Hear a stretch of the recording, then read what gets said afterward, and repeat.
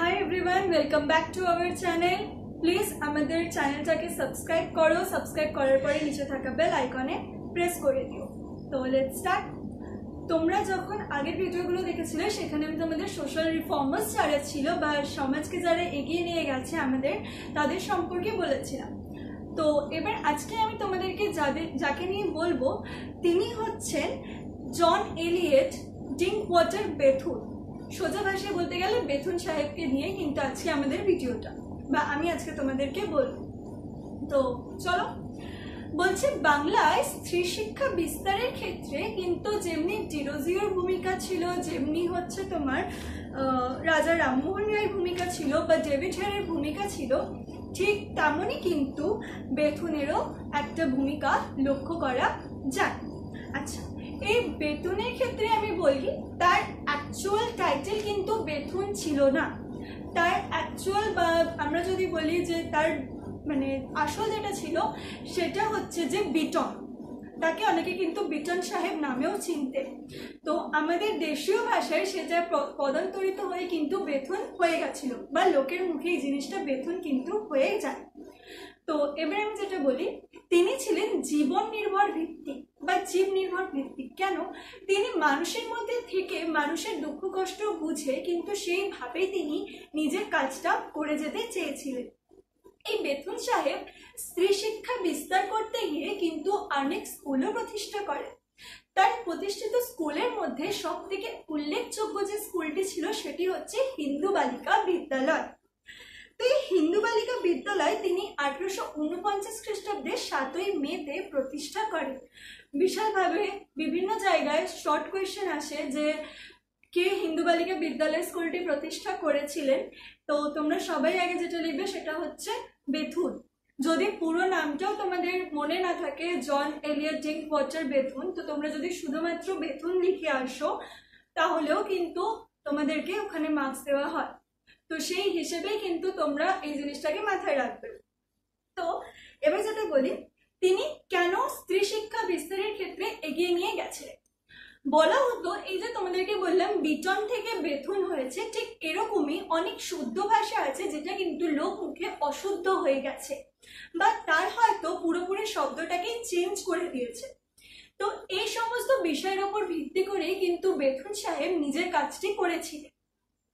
তো এই যে হিন্দু বালিকা প্রতিষ্ঠিত হয়, সেই ক্ষেত্রেও কিন্তু দেখা যায় যে তিনি সবার প্রথম যেটি করেছিলেন সেটি হচ্ছে মানুষের মধ্যে ভাষার জ্ঞানটাকে পৌঁছে দিয়েছিলেন।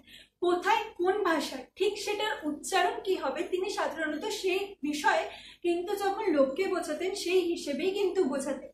এমনকি তার যে স্কুল ছিল হিন্দু বালিকা বিদ্যালয়, সেখানেও তিনি সবার প্রথম চেয়েছিলেন মহিলারা যাতে প্রপারলি বা ঠিকভাবে সেই শুদ্ধ বানানগুলোকে শিখে, শুদ্ধ উচ্চারণগুলোকে শিখে সমাজের কাছে নিজেদেরকে তুলে ধরুন।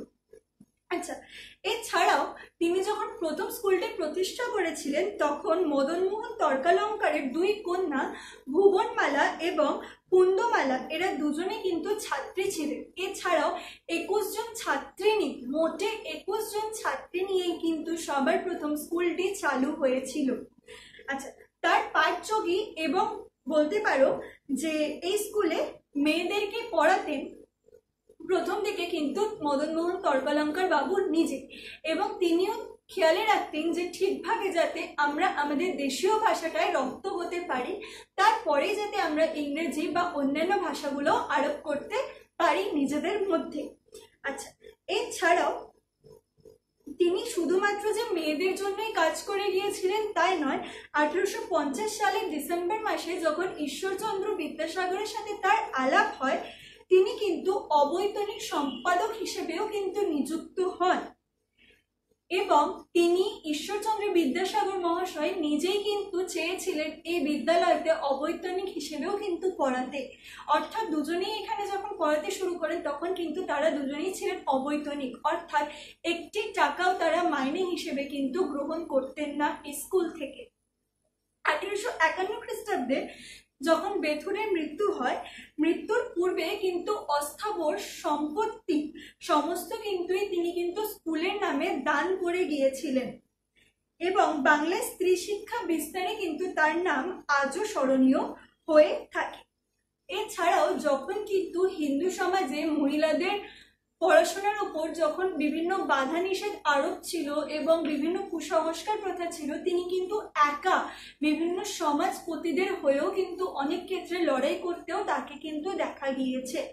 তো এইভাবে তিনি কিন্তু একের পর এক সমাজ বিরোধীদের বা সমাজপতিদের হয়ে লড়াই করেছেন, মহিলাদের জন্য স্কুল প্রতিষ্ঠা করেছেন, এছাড়াও মহিলাদের পাশাপাশি বিভিন্ন ধরনের যারা উচ্চ শিক্ষার সাথে জড়িত ছিলেন, সেই সমস্ত ছাত্রদেরও কিন্তু তিনি সাহায্য করে গেছেন নিজের হাতে। অর্থাৎ আমরা বলতেই পারি যে তিনি শুধুমাত্র একজন শিক্ষক বা একজন সোশ্যাল রিফর্মার বা শুধু সমাজকে এগিয়ে নিয়ে গেছেন তাও নয়, তিনি কিন্তু আমাদের দেশটাকে ভালোবেসেছিলেন। ভালোবেসে চেয়েছিলেন আমাদের দেশটাকে এগিয়ে নিয়ে যেতে। যার জন্য তিনি কিন্তু সমস্ত স্থাবর, অস্থাবর তার সম্পত্তি সবকিছুই আমাদের এই মহিলাদের স্কুলের জন্য কিন্তু দান করে দিয়ে গেছিলেন। তো এইভাবেই তিনি আমাদের দেশের জন্য কাজ করেছিলেন, শিক্ষা বিস্তারে একটি উদ্যোগও নিয়েছিলেন। তো ভিডিও শেষ করার আগে বলব প্লিজ আমাদের চ্যানেলটাকে সাবস্ক্রাইব করো। সাবস্ক্রাইব করার পরে নিচে থাকা বেল আইকনে প্রেস করে দিও। Thank you